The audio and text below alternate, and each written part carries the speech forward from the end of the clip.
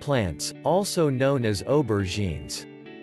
They belong to the nightshade family of plants and are used in many different dishes around the world. Its origin is considered to be India, where it continues to grow wild. This spiny, bitter, orange, pea-sized fruit has been cultivated throughout India and China for more than 1,500 years. The name eggplant developed in the United States, Australia, New Zealand, and Canada, because the fruits of some 18th-century European cultivars were yellow or white and resembled goose or hen's eggs. Over 60% of eggplants are produced in China alone.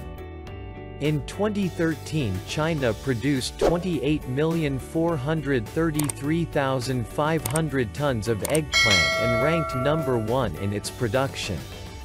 India, Egypt, Turkey, and Iran were also major producers.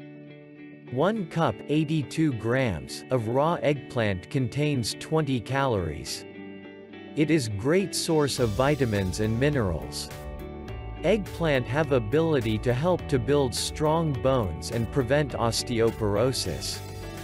Increase brain function, reduce symptoms of anemia and increase cognition. Provide help to digestive system and improve cardiovascular health. Eggplant is also good for weight loss, managing diabetes, reducing stress, protecting infants from birth defects, and even preventing cancer. Eggplant is incredibly versatile and can be easily incorporated into your diet.